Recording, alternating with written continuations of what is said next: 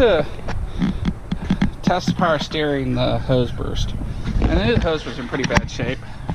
So let me get under here and see what's going on. So, unfortunately, this is gonna suck to get to. Alright, but that's what's going on. It bust up there. Those hoses look pretty bad. So, let me do it to it. We gotta undo that, and then we gotta undo up there. And there ain't no nice way to do either one. So, I'm gonna clip this here and start. Oh, and there's a wasp nest up there too. Because there's just no, not enough fun here. I might have got lucky and guessed the size.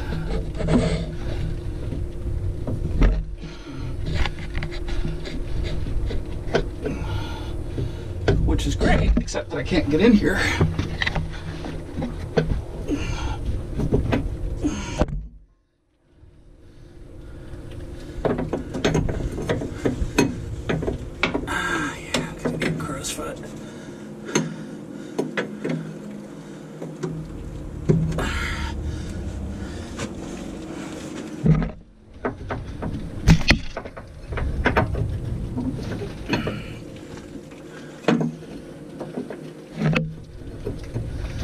Yeah, I'm gonna need crowfoot wrenches to get in here. Uh, added to my investment of tools. Shit, there's enough room to set in here. Almost.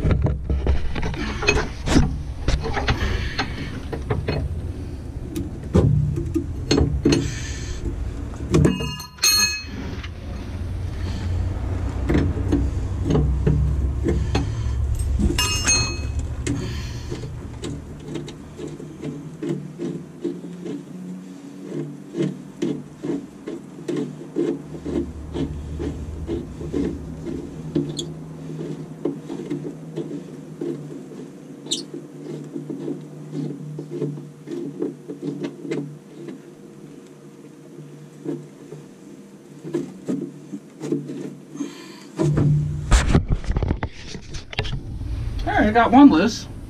Pain in the ass. I need some stubbies.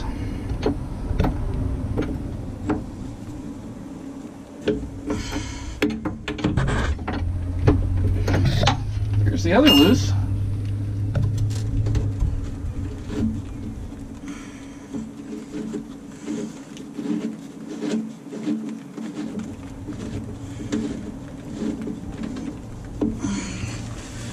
Now I can't get to the other side. In order to do this, I need under that green spit thing.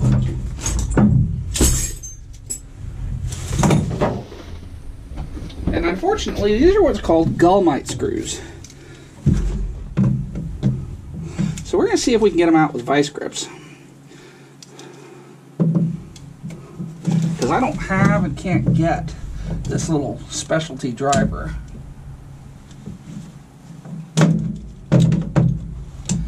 I only have a few of them to do.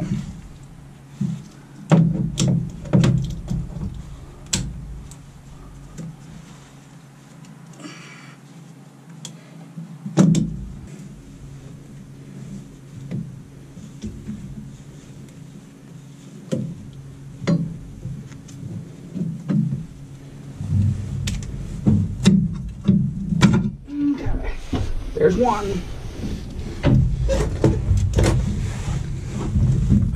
Last one.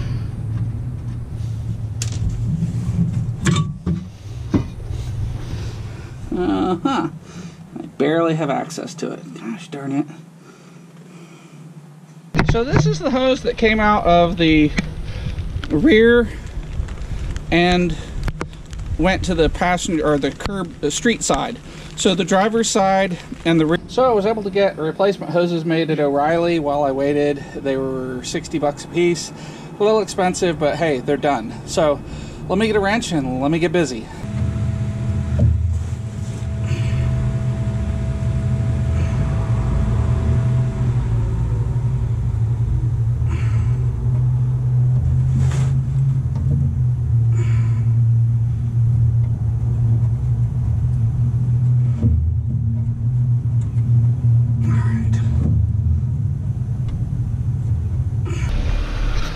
All right, very quickly. So I mean, I took the headlight out to get access to this. This fitting was bad, but I've got it all back together, and uh, I'm gonna finish it up tomorrow. I'll top off the fluid. Thanks for watching.